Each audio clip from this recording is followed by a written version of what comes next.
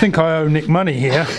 because My lunch money. I was actually managing the distance. It looked like I wasn't doing much, but I had my feet on Nick's hips, as it makes it really hard for the guy to reach you with any real power. Let me show you again. Well, come on, harder, Nick. All right, yeah, come on.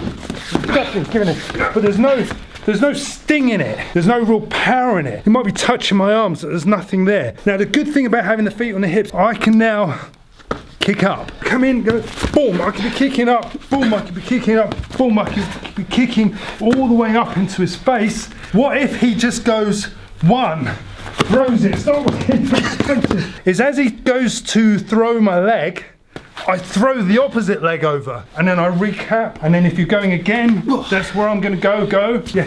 One. You don't really, Really want to walked into that one, you didn't I? don't really want to be coming in because I'm going to be just as dangerous as you. So if you see the opposite leg goes over, try to reach me. It's really hard for him to reach because again, I can really make it difficult for him. I could be kicking him, kicking him, and then most importantly, I'm managing the distance again. But here's the problem. You could essentially just crowd my distance. Come in, so I shoulder walk back. The worst thing that can ever happen is the guy pulls your legs down and gets past your legs. Because if he gets past my legs, I've got no way now. I can do this. Boom, boom. Go hard on it. Come on, I want you to beat me up any- anyway. All right, you're getting your own. I'll give you the money. I'll give you the money. I'll have it for you tomorrow. I'm a nice guy, really. One of the things you can do is to entangle the leg. Anytime the, the bad guy gets past your legs, you're at such a risk. Now, most of the time when I do this, people say, yeah, but the guy's going to punch you in the face. Look, you might eat a couple of punches, but it's better than being punched unconscious. Bring both legs up and entwine his legs. You wrap the leg. Now, it looks quite weird, but basically I've got his leg stuck and his hamstring caught and I'm squeezing. Try to punch me, Nick. Try to punch. It's still better than it was. Boom, boom, boom. But I can kick up, Yeah. kick up, and most importantly, fold the leg, sweep the leg, and stand up. Boom. Now, who's the bad guy now?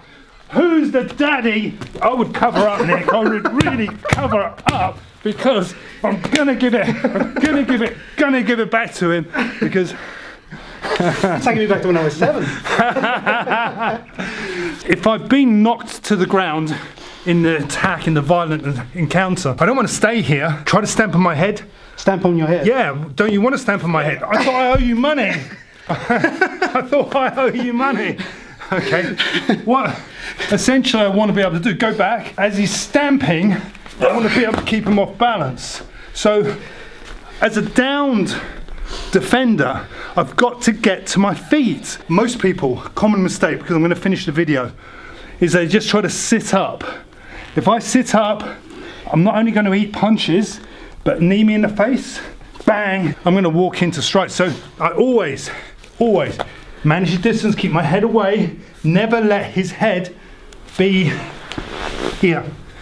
Because if his head's in line with mine, I'm going to be in trouble. So I always want to be able to keep him away, keep my head level with his head. So if he moves that way, I move this way. He moves that way, I move this way. I always keep my head level, and therefore the punches are always going to be further away from me. Any questions, Nick?